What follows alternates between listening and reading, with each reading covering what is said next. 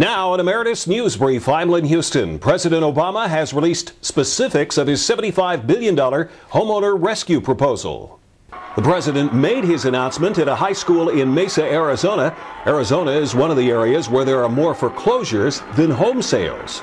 The plan I'm announcing focuses on rescuing families who played by the rules and acted responsibly. By refinancing loans for millions of families in traditional mortgages who are underwater or close to it, by modifying loans for families stuck in subprime mortgages they can't afford as a result of skyrocketing interest rates or personal misfortune, and by taking broader steps to keep mortgage rates low so that families can secure loans with affordable monthly payments. At the same time, this plan must be viewed in a larger context. A lost home often begins with a lost job. Many businesses have laid off workers for a lack of revenue and available capital. Credit has become scarce as markets have been overwhelmed by the collapse of security back, securities backed by failing mortgages. In the end, the home mortgage crisis, the financial crisis, and this broader economic crisis are all interconnected. We can't successfully address any one of them without addressing them all.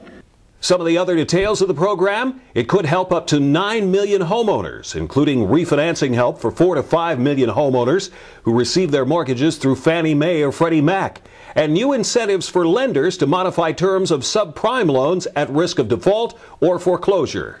Details of the stimulus bill signed Tuesday reveals $250 stimulus checks for those getting Social Security, SSI, or disability payments. $500 if both husband and wife are getting benefits.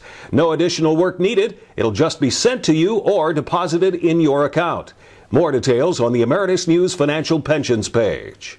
The Federal Reserve releasing projections for the coming year, which have been revised downward from a projection made back in October. The Fed's Open Market Committee expects national unemployment to reach 8.8% this year, with the economy shrinking between one half to 1.3%. During a speech today at the National Press Club, Fed Chairman Ben Bernanke said the Fed would do what it takes to get the economy out of the downward spiral.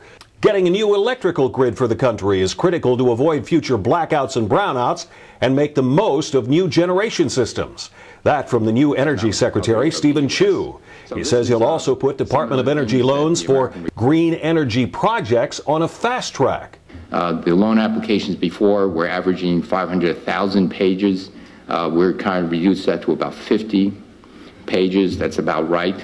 Uh, it, it, won't increase the exposure the government is in making these loans. Uh, you don't need a thousand pages to show that, that this is a, a, suitable loan. And uh, our, our, target now is to start cutting checks in the new uh, uh, loan guarantee programs by the end of April, beginning of May. So three or four months instead of three or four years. More on that story on the Emeritus News business page. A report by the GAO says the shortage of veterinarians will only get worse unless something is done. The report claims that 27% of veterinarians at federal government agencies will be eligible to retire within three years. Efforts to determine the veterinarian workforce needed for a catastrophic event are insufficient, according to the GAO. More on the Emeritus News education page. And there's a report urging state and federal officials to allow parents to insure their children up to age 29 instead of 18. That report from the group Community Catalyst says this would provide coverage for young adults whose age group now has the largest percentage of uninsured.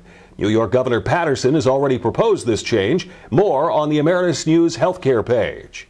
The latest on the biggest issues and public policy at emeritusnews.com. That's an Emeritus News brief. I'm Lynn Huston.